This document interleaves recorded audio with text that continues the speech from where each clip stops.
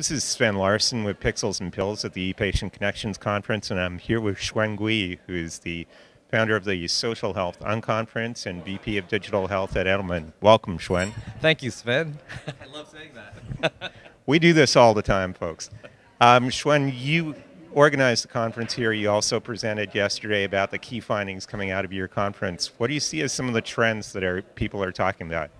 Sure. You know, um, I think there were a few themes that really stood out to me uh, during the con- uh, unconference that we had yes on Monday. Actually, it feels like just yesterday, but it was on Monday. Um, and uh, the, I came up with sort of four or five P's uh, that sort of summarized those th- themes.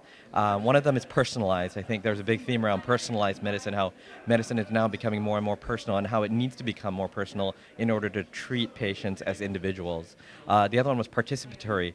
Uh, ePatient Dave, being one of the biggest champions of participatory medicine, spoke at the event, and you know it's about how do we work with our doctors and our uh, providers to really uh, help each other uh, cure the patient's um, condition.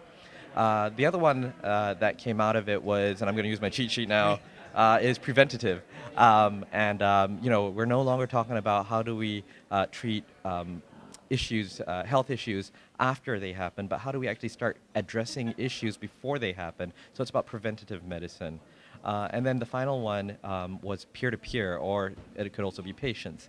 Um, as patients are at the center of everything, and they're learning from each other, they're no longer waiting for the um, you know, the, the healthcare professional or any um, really high-level source to tell them what to do. They're actually trying to find their own information. They're getting to sources before um, anybody tells them.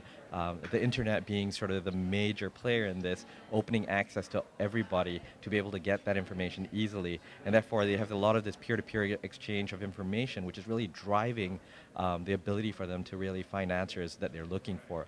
And then one other P that I'm going to add that um, I thought about recently is passion. Um, the fact that a lot of these movements, a lot of these um, uh, social health type activities are all driven by passion. It's not people that are starting something so that they can make money, it's because they're passionate about it. Uh, and especially when it comes to health, it's usually a family incident or a personal incident that has driven them to start something that's going to help other people that are just like them. And I think that's another big component that's part of the themes that came out of um, uh, social health.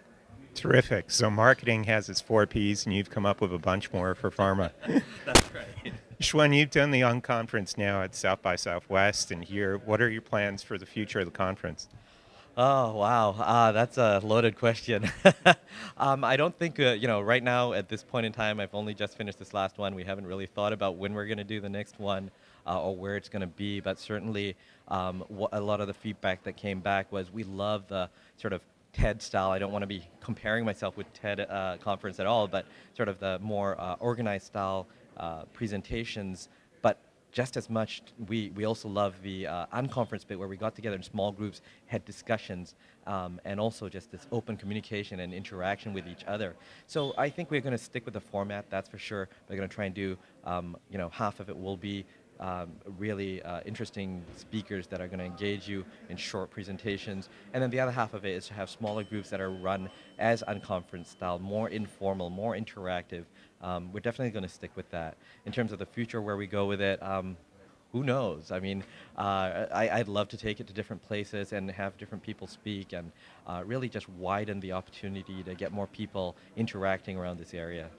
Terrific. Well, we know people are going to be looking forward to whatever you do next. In the meantime, where can people find you online so they can keep getting the good data, the good content that you've been providing at this conference?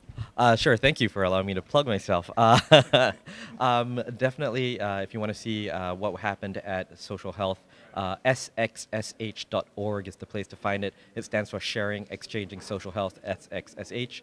Um, you can also find me on my blog, med20.com, which has suffered lately since I've been planning all these things, so uh, I'm not really as up to date as I used to be. And then uh, finally, uh, something I started recently together with Pixels and Pills was PharmFresh TV. That's P H A R M fresh.tv.